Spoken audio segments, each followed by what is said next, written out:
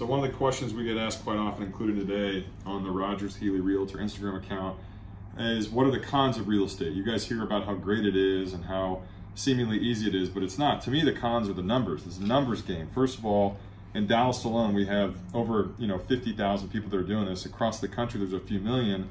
But the thing that's difficult to me is that the average realtor nationwide lasts less than three months, which messes with your head up here. It messes with my head when I'm managing and leading agents, but I have realized that if you stick with something long enough, you're gonna turn great.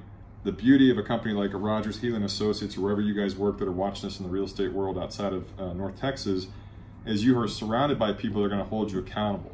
But it's super difficult, especially when you don't have a close, you don't have a list, you don't have a deal. You have to go out there and you have to manifest it and make it happen. So for me, the cons are the numbers, but eventually that turns into the pro. And then when you see people come and go, come and go, come and go, and then you're the only person still standing. That makes you realize you have something that no one else has that was in that group of people. It's called resiliency. So the numbers are the hardest part unless you master it, and then eventually the numbers become your best friend. Happy Monday to you guys. Thanks for watching this. Tell your friends, and um, yeah, don't be a statistic, be a number.